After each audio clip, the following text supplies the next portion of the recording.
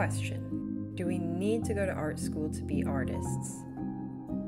In Austin Kleon's book, Steal Like an Artist, he says, School is one thing, education is another. Whether you're in school or not, it's always your job to get an education. In my experience, art school was great for networking and being surrounded by other creatives.